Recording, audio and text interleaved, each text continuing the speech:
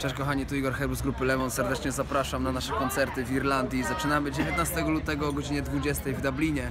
Mam nadzieję, że i przed naszym klubem będzie taka sama kolejka jak tu, a może i większa. Wszystkiego dobrego, do zobaczenia.